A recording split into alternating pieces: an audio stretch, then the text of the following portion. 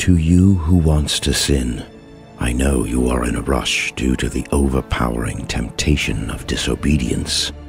But before you commit the sin, I would like you to take a few deep breaths. Absorb and visualize every word I'm telling you about the people of hell. The amount of pain God can cause is beyond imagination. It is enough to have one sin, which we already do, to receive severe punishment. Those who die as deviators will be firewood for hellfire. They will be tormented by it. Their faces will be rolled over in fire. With their hands tied, they will be thrown into a narrow space in where they will be boiled and branded.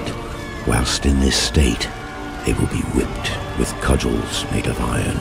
While wearing shirts of tar, they will sleep on a bed of fire, covered with fire.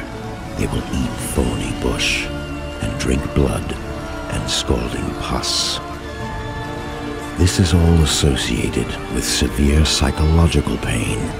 Feelings of helplessness, disgrace, and shame will accompany them.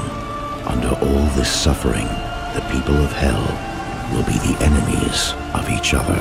They will constantly curse each other, as well as insane screaming, bawling, begging, moaning, and groaning will merge into a deafening howl.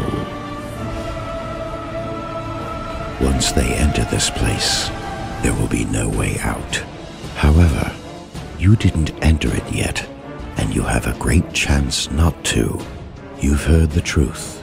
Now, using your free will, you can choose your next actions carefully. No matter what your choice is, remember that you are the one responsible for your decisions.